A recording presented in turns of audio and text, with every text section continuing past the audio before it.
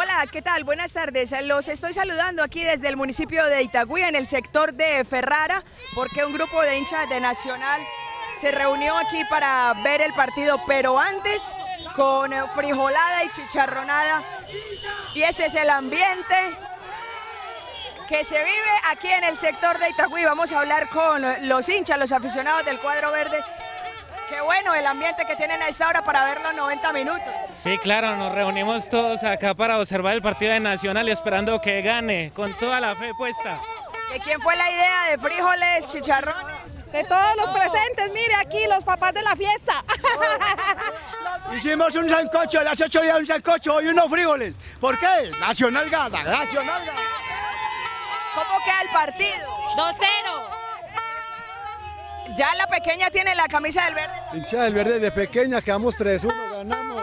Bueno, ¿cómo está el ambiente? ¿Cómo cantan? ¡Mi